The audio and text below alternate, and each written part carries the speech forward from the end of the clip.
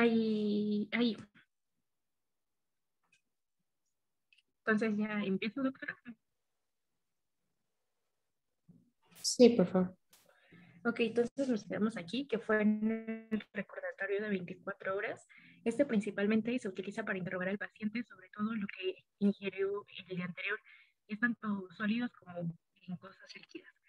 Eh, es importante que al menos se haga eh, un fin de semana, ya que pues por lo regular los fines de semana son donde llegamos a comer otro tipo de cosas no tan comunes en la semana.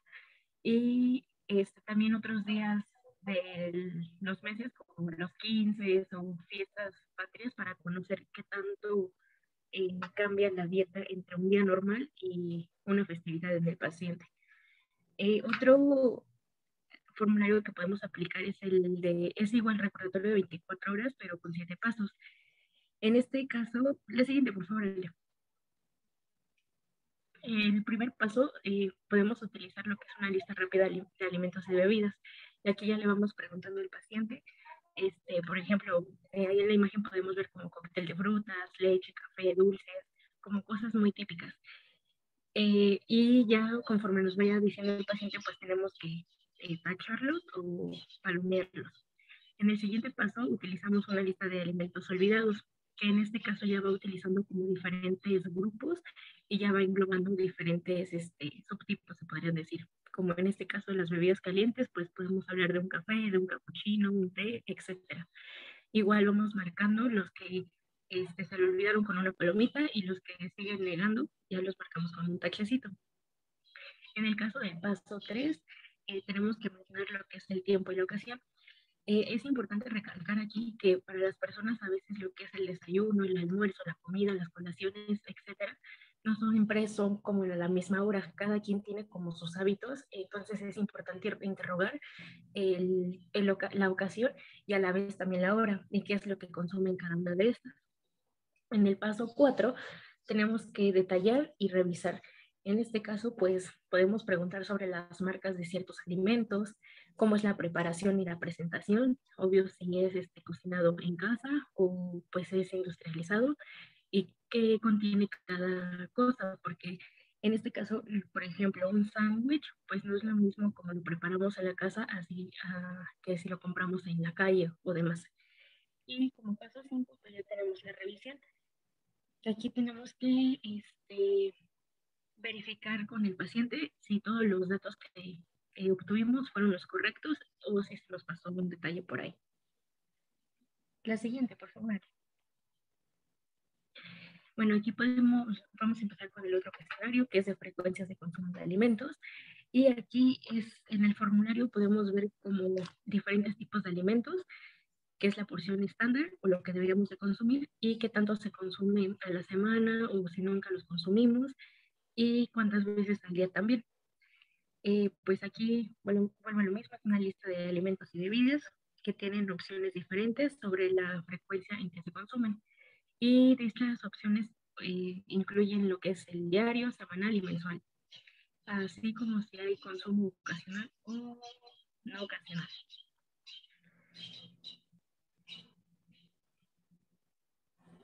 Ah, también aquí es importante interrogar si en los últimos meses o al último año ha modificado su alimentación por cuestiones estéticas o por cuestiones este, de que padezca alguna enfermedad crónica, etcétera, para que podamos también comparar entre qué es lo que comía antes a cómo come actualmente. La siguiente, por favor. En este también eh, tenemos diferentes eh, formularios, que es el cuantitativo. Aquí podemos ver con qué frecuencia se consume determinados alimentos y después de qué tamaño es la porción. En el cualitativo es la frecuencia con el que se consume un alimento y el semicuantitativo pues se interroga sobre los más comunes y cuál es la producción estándar de referencia. Aquí podemos eh, cuantificar las kilocalorías y las cantidades de cada alimento. La siguiente, por favor.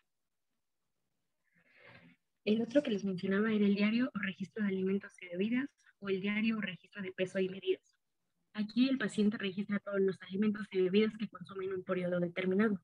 registro cuando menos tres días. Este, volvemos a lo mismo, se debe de incluir por lo menos un día del fin de semana. Eh, también nos sirve para cuantificar sobre el consumo de calorías, eh, también saber el conocimiento de energía y de nutrimentos.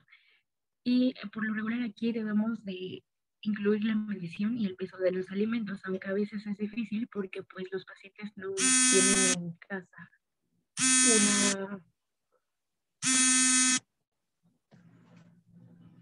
no, perdón, no tienen este, una báscula o no tienen este, cucharas medidoras. Y también aquí este, debe de ser con precisión, ya que la báscula, pues nos ayudamos de estos instrumentos, aunque también es un poco difícil el estandarizar lo que son las porciones, porque a veces, pues para un paciente puede ser normal consumir una porción del tamaño de nuestra palma de la mano y para otros puede ser un, un bistec del tamaño de una oreja de elefante, como le llaman. Entonces, pues aquí también es muy subjetivo.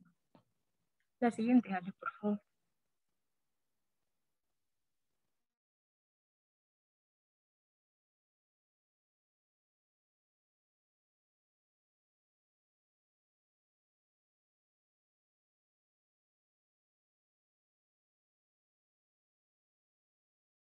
Podemos hacer referencia con el puño de nuestra mano cerrado. En este caso podemos incluir eh, tazas de verduras, arroz, pasta o fruta picada. Y este debe ser del tamaño de un puño de un niño. Para el caso de una taza, es el puño del adulto o de una pelota de béisbol o tenis, y que podemos utilizar igual alimentos como verduras, arroz, pasta o similares o fruta picada. Para en el caso de 90 gramos de bistec, pechuga o fileta de pescado, debe de ser de una palma extendida de la mano de una mujer. En el caso de 120 gramos de bistec o de otro alimento de origen animal, podemos utilizar la palma de, de mano de un hombre igual extendida. Para el caso de una referencia para una cucharada de mayonesa, crema, mantequilla, mermelada o Nutella o todo ese tipo de derivados, podemos utilizar lo que es el pulgar de un adulto. En el caso de dos cucharadas, pueden ser igual de mayonesa, mermelada, similares, podemos utilizar lo que es una pelota de ping pong o una de golf. Para 30 gramos de jamón, puede ser el tamaño de un disco compacto aproximadamente. Este, 90 gramos de carne, puede ser con un paquete de, de cartas o con el tamaño de un cassette, pero les digo que pues es muy subjetivo esto y tampoco es como que estemos checando si corresponde con estos objetos. Nada más es como, pues sí, una aproximación. La siguiente, por favor, Ale. Y para el caso de derivados o quesos, eh, lo que corresponde a 30 gramos de queso, podemos utilizarlo con una referencia de un pulgar de un adulto, este, cuatro dados o una carterita de cerillos.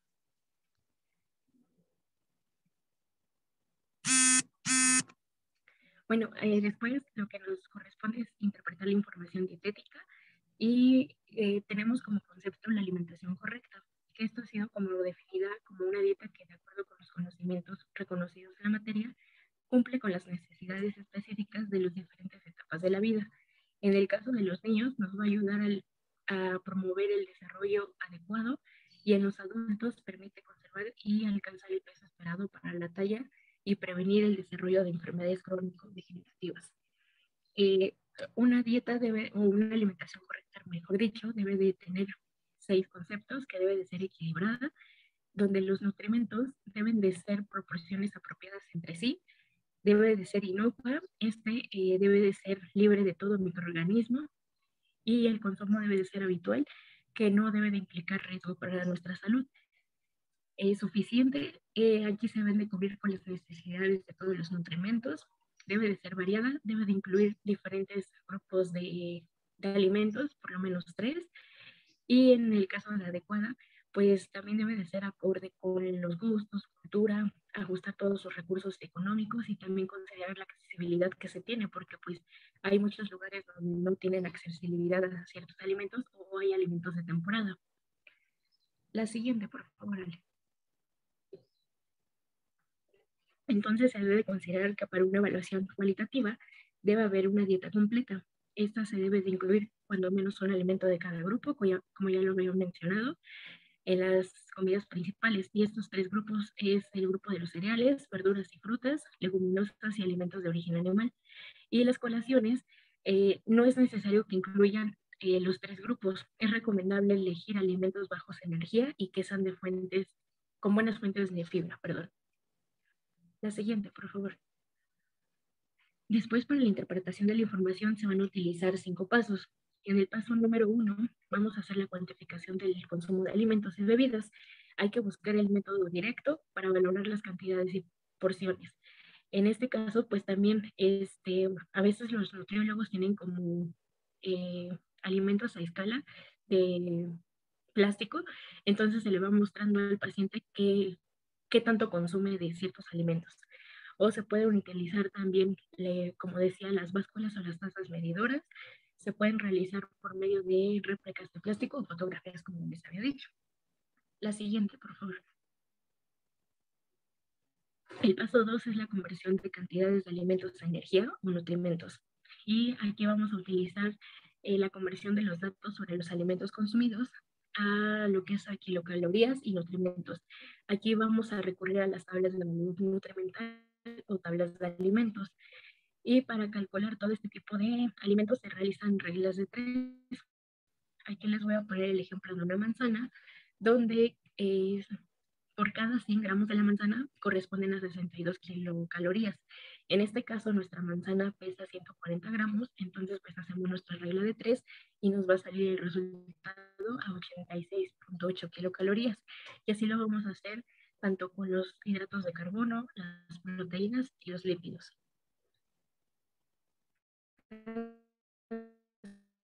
Siguiente, por favor.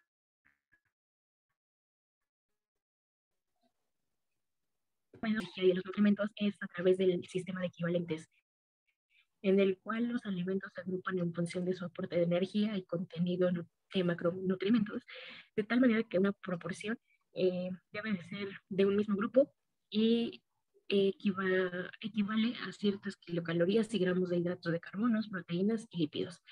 En, en este caso, el procedimiento debe de ser primero cuantificar los equivalentes consumidos por cada grupo. Por ejemplo, si un equivalente de, cereal eh, es, entre otros, una tortilla o también utilizamos una media taza de arroz, eh, debemos de referir que se han consumido dos tazas de arroz y una tortilla. Entonces, si ya lo pasamos a nuestras tablitas, pues eh, se consumieron cinco equivalentes de cada grupo de cereales.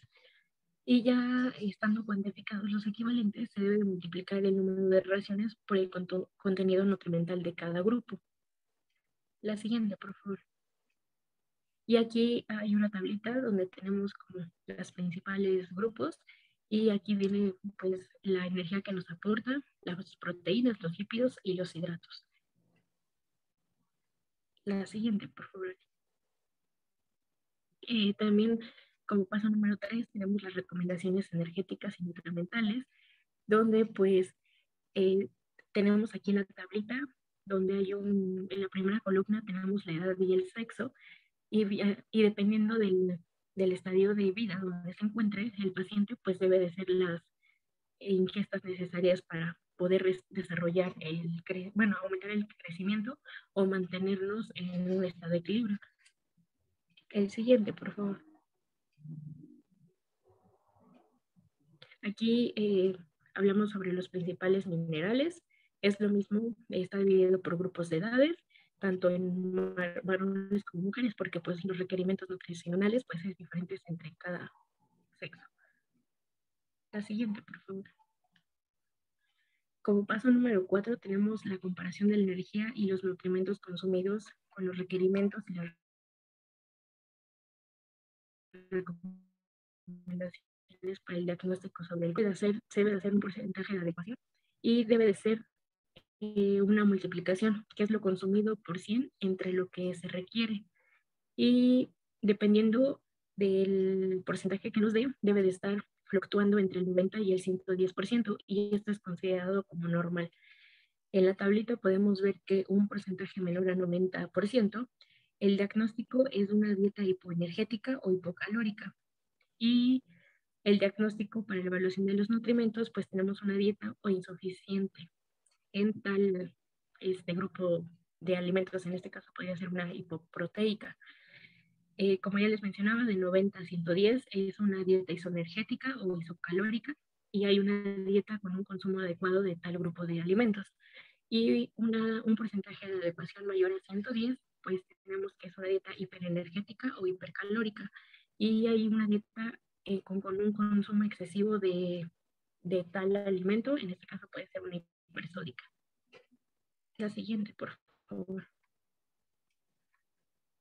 También vamos a hablar sobre los rangos cuantitativos y en este caso pues tenemos diferentes conceptos como es la suficiencia y en esto es que una dieta sea lo suficiente eh, debe de cumplir con los requerimientos energéticos del paciente donde se debe de estimar los requerimientos de energía y se cuantifica sobre el consumo de kilocalorías. Este, como ya se les mencionaba, debe de oscilar entre el 90 y el 110% y esto también tiene que ver mucho con el juicio del clínico profesional. También puede haber un equilibrio entre una dieta eh, que es este, proporcional entre las proporciones de macronutrientes energéticos sean las adecuadas. Y también debemos de estarlo comparando con lo que es el gasto energético de diferentes actividades. Podemos eh, clasificar a las actividades recreativas como ejercicios o domésticas. Hay que considerar que pues eh, a veces le preguntamos a los pacientes y nos dicen que se hacen ejercicios, pero pues realmente la actividad solamente es doméstica o, o, ya se vuelve parte de la rutina. Entonces, pues eso como que no tiene tanto impacto para poder considerarlo como un ejercicio o de alto rendimiento. La siguiente, por favor. Y pues los objetivos que se tienen para poder evaluar es la parte de los indicadores dietéticos a nivel individual es el poder detectar problemas de mala nutrición, si hay unas deficiencias nutricias que no están siendo cubiertas, identificar si hay riesgo de desarrollar mala nutrición, el poder también localizar fuentes accesibles para evitar alteraciones nutricias, eh, también identificar qué es lo que nos está causando la, la mala nutrición. Y a nivel grupal, podemos ver que hay una magnitud de distribución geográfica de la mala nutrición como problema sanitario. También identificar a los factores ecológicos como causas de la mala nutrición. En este caso también podemos proponer medidas correctivas eh, y medir el impacto a través de programas. Principalmente esto podemos establecer como medidas sanitarias, eh, como es el caso de la tortilla, que se impuso que le debemos añadir calcio para poder cubrir con los requerimientos nutricionales. Y así podemos establecer diferentes cosas como también el consumo de la sal donde en donde los restaurantes pues ya no se les ponía el salero directamente para evitar una, dietas hipersónicas. La siguiente, por favor.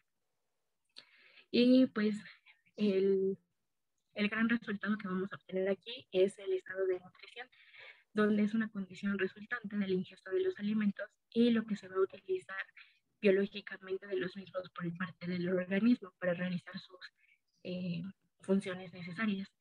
Esto se va a ver reflejado en las necesidades fisiológicas de los nutrimentos si ha sido cubierto.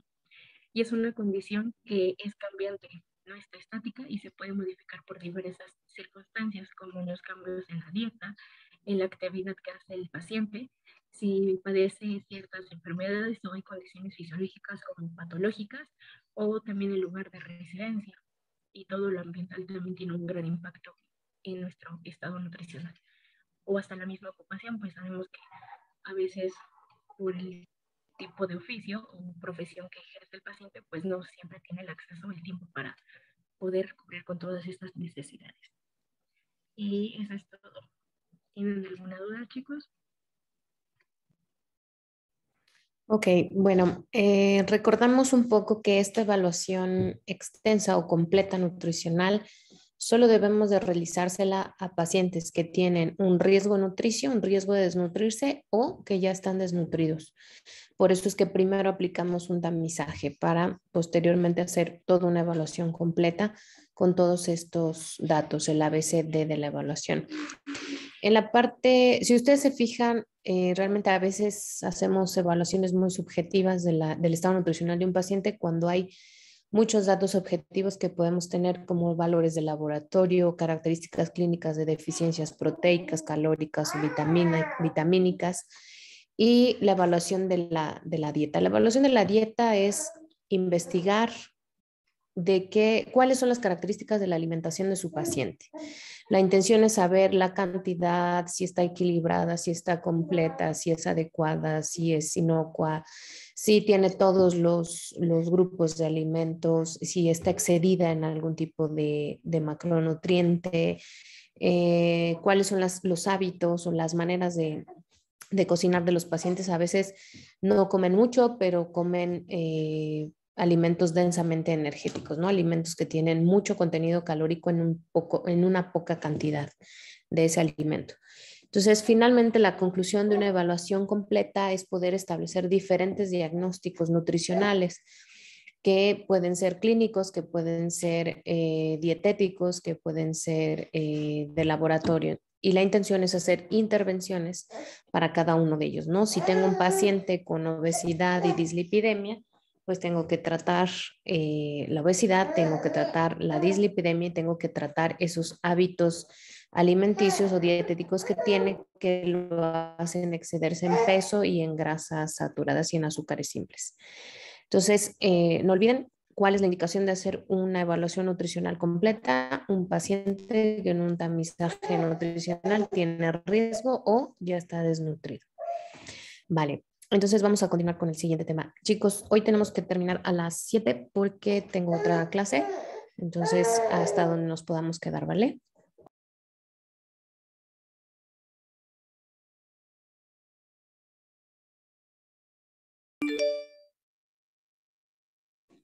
Este, sigo yo. Mm, ¿Se ve mi pantalla? Sí, ya se ve. Ah, gracias.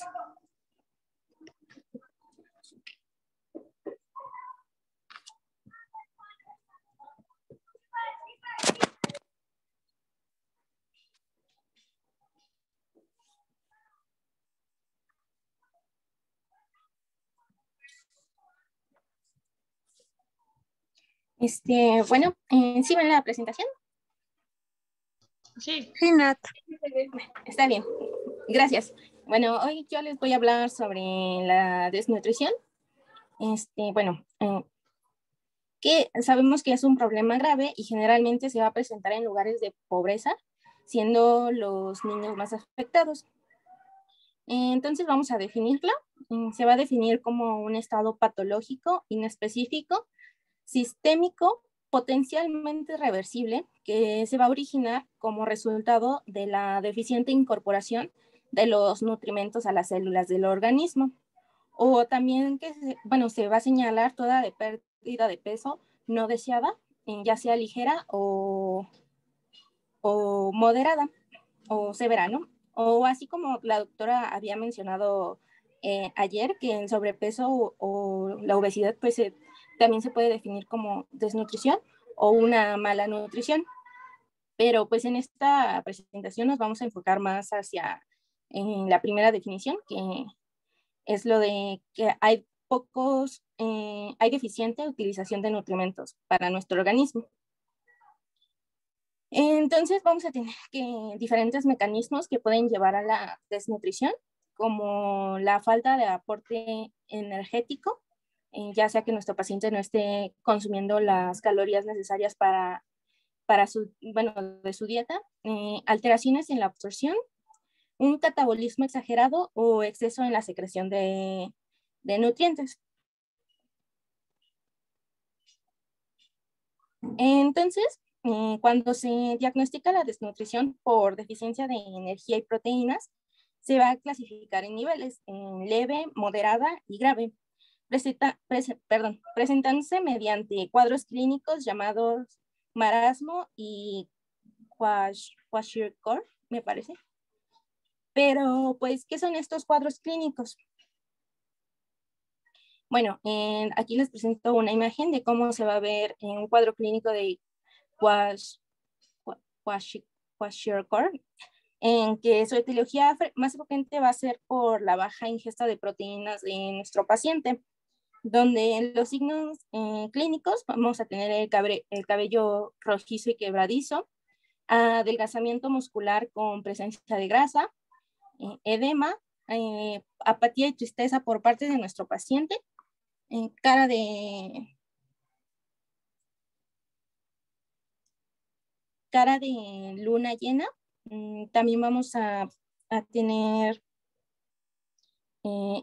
lesiones en la piel y nuestro paciente también va a tener eh, un peso bajo. Y continuando con el marasmo, eh, va a ser un poco diferente, ya que nuestro paciente va a tener un cabello normal, disminución de, del tejido muscular y adiposo, eh, no va a tener edema a comparación de del Core. En su peso va a ser muy bajo. Eh, las extremidades van a ser flácidas, la piel va a estar seca y plegadiza. nuestro paciente va a tener cara de, bueno, va a tener su cara de envejecimiento. Y, y también en este, nuestro paciente se va a encontrar, entre comillas, adaptado a la falta de nutrientes, pues este va a aumentar su, su nivel de estrés, así aumentando su cortisol y va a disminuir la excreción de insulina, así que no, sus células no van a, bueno, sí van a requerir esta, esta energía, pero, eh, ¿cómo, ¿cómo se les explico? Pero al disminuir el nivel de insulina no se, no se va a necesitar tanto, bueno, no van a necesitar meter tanta glucosa. Bueno, entonces, eh, ahora para el diagnóstico va a ser, eh, es un trabajo duro que va a requerir un equipo interdisciplinario. bueno, para empezar se debe iniciar con una historia clínica del paciente en la que se incluya su antropometría como ayer lo estaban explicando, eh, donde vamos a checar principalmente los indicadores de masa grasa o de adiposidad, como el IMC, eh, porcentaje de grasa corporal o circunferencia de la cintura. Eh, bueno, en este caso, en, hombres del 10, del 10 al 20% es lo normal de grasa, de grasa o de adiposidad y en mujeres va a ser de 15 al 30%.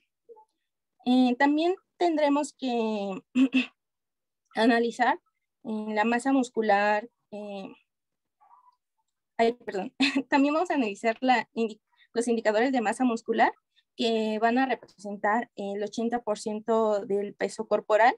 Así con esto vamos a poder checar la necesidad nutricional de nuestro paciente, ya que este va estrechamente ligado.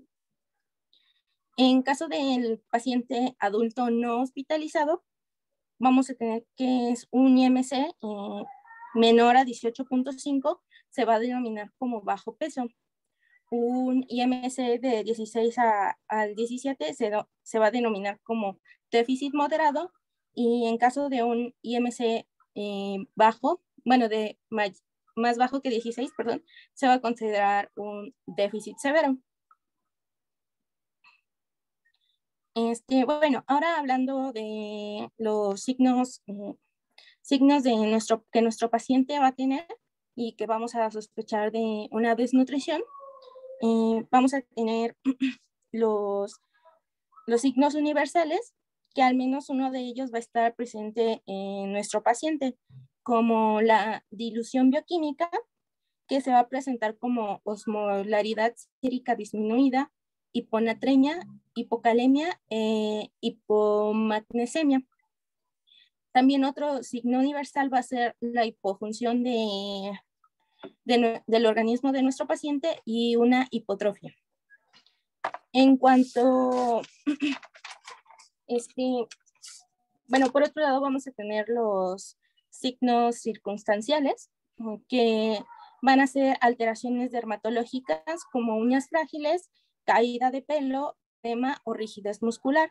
Entonces hay que estar, pues, desde que llega nuestro paciente al consultorio, vamos a poder detectar un poco esto del cabello frágil, eh, la piel reseca, eh, y a la exploración, pues podamos a poder ver esas alteraciones más, pues, más consistentes en, en las uñas que van, van a estar frágiles o si tiene lesiones en, en piel, entonces ya sospecharíamos de una desnutrición, así como también eh, haríamos una anamnesis de cómo son sus hábitos alimenticios y todo lo que nos explicó pues mis compañeras en las presentaciones pasadas.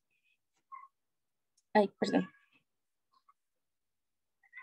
Eh, también eh, vamos a tener como para, aparte de nuestra perdón, anamnesis y nuestra exploración física, eh, vamos a tener eh, diagnóstico por bioquímico, que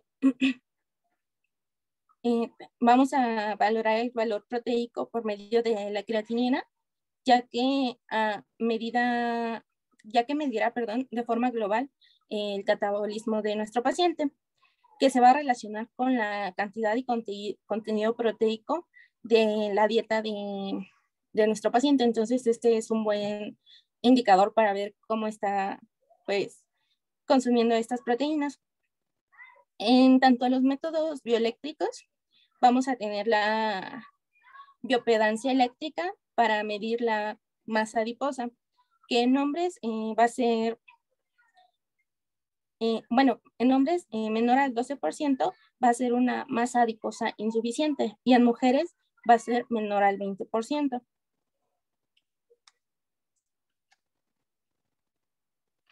Bueno, ahora con el tratamiento, pues el tratamiento de la desnutrición es complejo y para asegurar su éxito debe ser integral junto con el médico y el nutriólogo.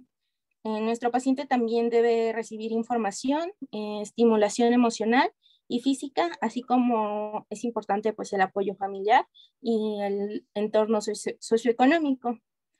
Eh, pues el tratamiento clínico va a consistir en indicar la cantidad de energía requerida para nuestro paciente, ya viendo pues su edad, eh, bueno, sí, su edad, así como, bueno, más bien su edad biológica, que esta, esta edad biológica es la edad metabólica. Eh, no sé si han visto en las, eh, en las básculas de biopedancia, eh, también te dan tu edad biológica, donde estás relacionada a, la edad de tu metabolismo. Eh, no sé si me doy a explicar. No es a la edad que tienes, sino a la edad que está trabajando tu metabolismo. Puedes tener 20 años, pero tu metabolismo puede estar ah, por tu dieta y tus actividades físicas puede estar eh, a esa edad, que sería lo normal, o puede estar aumentado a mayor edad, no sé, de de 30 años. Entonces, esta, esta dieta se debe realizar a la relación de la edad biológica.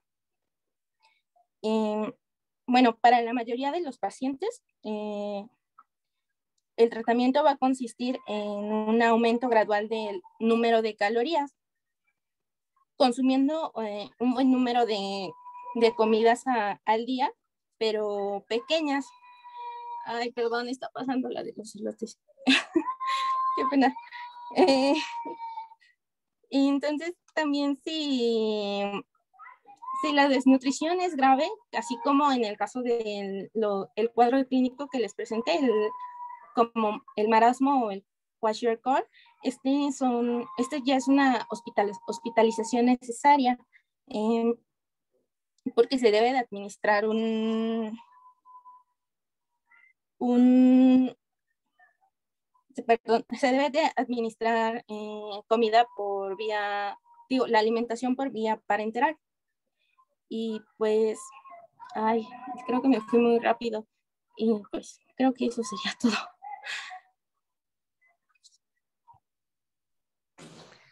Ok. Em, la desnutrición, eh, ¿cómo vamos a hacer el diagnóstico de desnutrición? Pues número uno, haciendo toda la evaluación del ABCD, ¿no? Es una evaluación antropométrica, ¿por qué? Porque nos vamos a basar en el peso, en la talla, en el índice de masa corporal y en lo que nos indica la bioimpedancia. La bioimpedancia nos va a indicar si ese paciente solo ha perdido grasa o ha perdido también masa muscular. En el caso de los pacientes que tienen ya una desnutrición muy crónica o muy severa, ya hay pérdida muscular y esa pérdida muscular se traduce en una pérdida funcional o un debilitamiento muscular. Eh, en la parte eh, clínica, pues podemos ver características en el paciente, en su piel, en el cabello, en las uñas, en la lengua, de deficiencias vitamínicas, podemos ver en sus circunferencias eh, braquial y de pantorrilla ya la pérdida de, músculo, podemos mm, ver em, en las mucosas a veces deficiencias de zinc, deficiencias de hierro, deficiencias proteicas. Eh, en la evaluación eh, bioquímica, pues, obviamente vamos a ver pacientes que ya tienen una hipoalbuminemia importante o tienen anemia o linfopenia incluso ya por el efecto crónico de la desnutrición. Eh, podemos también ver que tengan disminución en la creatinina, que suele ser un marcador de poca masa muscular, aunque no es un valor muy confiable, porque también lo que evalúa es la función renal. Entonces, si es un paciente con un daño en la función renal no quiere decir eh, que el que tenga creatinina de 1,5 es que tenga muy buen músculo, sino más bien no, lo, no está eliminando esos productos de desecho del metabolismo de las proteínas. Eh, entonces, número uno, pues para saber si un paciente tiene nutrición tenemos que hacer esas, esas evaluaciones. Y en la parte dietética es súper importante saber que un paciente que está consumiendo o lleva consumiendo por más de dos semanas eh, menos del 50% de los requerimientos calóricos, es un paciente que sí o sí está desnutrido y se va a desnutrir más. Entonces es un marcador de la evaluación dietética que nos va a decir, aguas, tu paciente o ya está desnutrido o se va a desnutrir severamente si continúa consumiendo menos de ese 50%. También desnutrición se puede definir como la pérdida de peso del más, de más del 10% del peso habitual en menos de tres meses. Eso también puede ser definitorio de una desnutrición. Entonces, eh, hay muchas definiciones y ustedes, hay, incluso hay un artículo por ahí de, de, la ESPEN que dice cuál es la verdadera definición de, de desnutrición y realmente es difícil llegar a un acuerdo porque hay muchos marcadores de desnutrición y no todos los pacientes cumplen con todos los criterios y sin embargo están desnutridos. Entonces, eh, no hay una definición como absoluta de desnutrición, pero sí hay maneras con los tamizajes y con la evaluación nutricional extensa, pues de determinar y detectar qué paciente está desnutrido y lo más importante, hacer un tratamiento. En el tratamiento, pues, creo que nos quedamos un poquito cortos en la presentación pero prácticamente consiste en incrementar en pacientes que tienen una desnutrición aguda, que es la, desnutrición de tipo kwashiorkor. Son pacientes que deben ser nutridos de manera intensiva, es decir, necesitamos meterles dietas hipercalóricas, hiperproteicas si el riñón nos lo permite, tenemos que suplementar con vitaminas. Un ejemplo de ello es, por ejemplo, ahorita los pacientes críticos con enfermedad COVID-19, una neumonía típica severa con síndrome de distrés respiratorio agudo. Eh, son pacientes con alto consumo calórico, entonces tienes que darles un tratamiento nutricional intensivo. Pero los pacientes marasmáticos, que son pacientes ya todos adelgazados, todos caquécticos, todos sarcopénicos, que ya se ven desgastados y que su desnutrición ya tiene un periodo de cronicidad, esos pacientes no pueden nutrirse intensivamente, es decir, mi paciente a lo mejor está acostumbrado a comer diario 400 calorías porque tiene anorexia, hiporexia por cáncer, o tiene bulimia, o tiene anorexia con bulimia. Eh, son pacientes que no los voy a hospitalizar y el, el día número uno que yo los hospitalice les voy a dar 2.800 calorías, ¿verdad? Porque si yo hago eso, su organismo todas sus enzimas y hormonas y órganos están acostumbrados a 400 calorías diarias. Si yo le incremento a 2000, puede ocasionarle un síndrome de realimentación, que es un síndrome que puede ser mortal. Entonces, en estos pacientes que tienen desnutriciones crónicas, hay que ir incrementando las calorías progresivamente, a veces hasta de 300, 150, 300 calorías por semana, hasta llegar al objetivo de calorías que, que vaya a requerir ese paciente para evitar síndromes de realimentación. Y bueno, el tratamiento prácticamente lo vamos a ver más en nutrición enteral y parenteral, que es donde utilizamos más los, los suplementos, la suplementación. Pero en resumen consiste en dar ya sea dietas, eh, dietas normales, pero enriquecidas con algún macronutriente, o dar dietas poliméricas o fórmulas, fórmulas este, enterales. Entonces, bueno, es, es, es parte de, de los siguientes temas. No sé si tengan alguna duda hasta acá, chicos. Ah, doctora, una pregunta. ¿Cómo afecta la edad biológica en el tratamiento para la nutrición?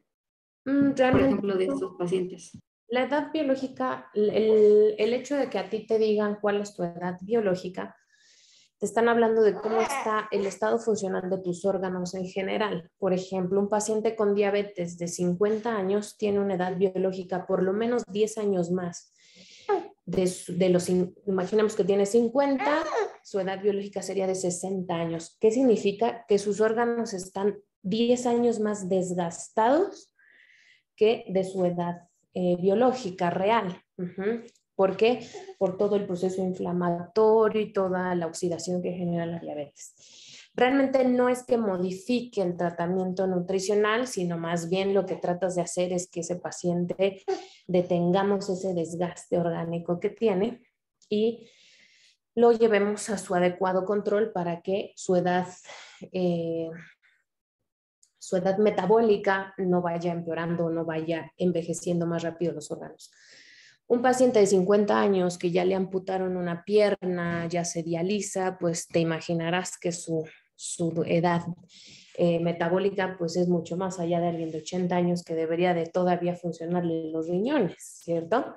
A eso es a lo que se refiere la edad eh, metabólica y la edad biológica. La edad biológica es tu edad eh, real, tu edad de la que deberías de tener con tus órganos normales para tu edad, pero la edad metabólica es ese desgaste o ese daño que le estamos ocasionando a nuestros órganos con el peso que tenemos, con el porcentaje de grasa que tenemos, con el tipo de alimentación, si es muy oxidante, etc.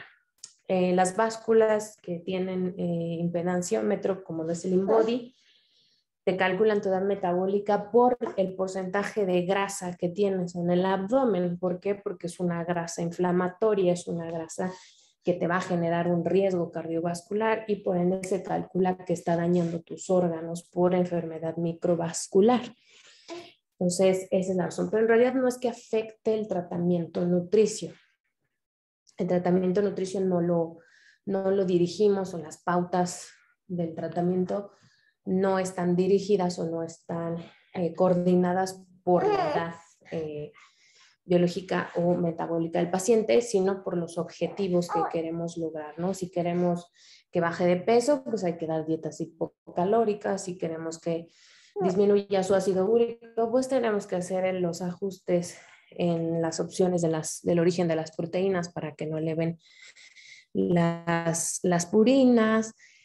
Eh, si es un paciente con eh, alergias, pues tenemos que buscar una dieta lo más hipoalergénica posible, si tienes aleatoria, etcétera. Más bien eso es lo que va a decir el plan nutricional, más que la, la edad propia. Ok, gracias. Y otra pregunta, ¿hay alguna forma de calcularla que no sea con la báscula? ¿Calcular qué? La edad. La edad, ajá. No, realmente, bueno, es que en realidad la báscula lo hace por una serie de fórmulas y todas esas fórmulas, bueno, pues ya están establecidas dentro de la computadora, dentro del software y las calcula con eh, la medición de los porcentajes de grasa que tienes por segmentos corporales y entonces toma en cuenta el segmento más el segmento abdominal. En realidad son fórmulas que están cargadas, no es que en sí la báscula te lo diga, sino más bien la báscula lo calcula con unas fórmulas. Que cuáles son, eh, la verdad no, no me las sé de memoria, no, no te lo podría contestar, pero son unas fórmulas que utilizan eh, los porcentajes de grasa por segmento corporal, porque estos, por ejemplo, el, el InBody te calcula grasa y músculo por segmento. Y obviamente en el segmento abdominal, pues es donde lo toma en cuenta como riesgo cardiovascular y riesgo de, este, de enfermedad metabólica, ¿no? de resistencia a la insulina, de este, diabetes, de hipertensión, de dislipidemia, etcétera. Pero mm, no, otra forma de calcularlo pues sería probablemente calculando esas, esas fórmulas tú mismo, ¿no? Sabiendo el porcentaje de grasa de los segmentos. Ok, gracias. Vale, chicos, yo creo que nos vamos a quedar hasta acá y en la siguiente clase vemos, eh, sería, la siguiente clase es, eh, no, es el lunes, ¿verdad? Entonces, em, ahí sí yo creo que podemos tomar desde las seis hasta las siete y media u ocho para que adelantemos los, los temas. O no sé si ustedes cómo están en tiempos. Este, es que tenemos examen el lunes, pero como usted nos diga, doctora, bueno, yo creo que es mejor que nos daría como media hora para despejarnos antes de nuestro examen. Ok, entonces su examen es a las ocho. entonces, seis a siete y media, ¿vale? Sí, por favor, muchas gracias chicos, entonces los veo el día lunes. Que tengan buen fin. Chao. Gracias, Una disculpa por los ruidos guturales del bebé. Ay, no, no, no pasa nada, doctora.